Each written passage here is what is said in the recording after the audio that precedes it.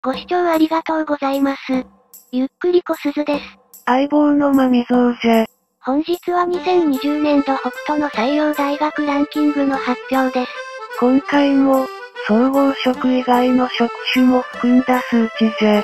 今回は上位重項と短くなっておりますのでご了承ください。それでは、発表していきましょうか。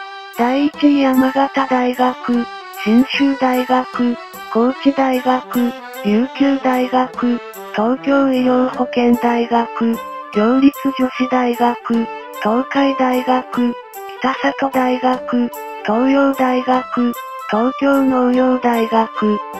ここまでが、北斗の採用実績上位校となります。ランクインした大学の関係者様、おめでとうございます。